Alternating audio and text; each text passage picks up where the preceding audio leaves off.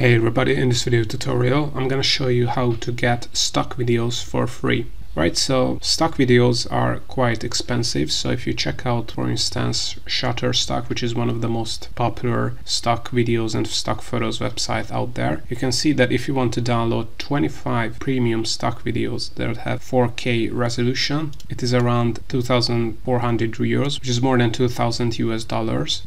So it makes sense to look for a cheaper option. And if you want to download free stock videos, there is one option on Canva and as you can see on the Canva free plan, you only get access to 1 million plus free photos and graphics. So you don't get access to the, to the stock videos. So you have to purchase the Canva Pro subscription, which is $12.99 per month, which is still a lot cheaper than purchasing stock videos from Shutterstock. However, if you want to get stock videos for absolutely free, you can do that by using the free trial link in the description below. And you're going to be able to get access to Canva Pro for, for 30 days and you're going to be able to get access to all the 100 plus million premium stock photos and videos as well. So I have a Canva Pro subscription. So you can see if you go to the videos tab on Canva here, you're going to be able to search for millions of videos here. And if you are on the free trial, these are absolutely free. So you can check out the video here. If I click here, you can see that this is a full video that you can use in YouTube Shorts, YouTube videos.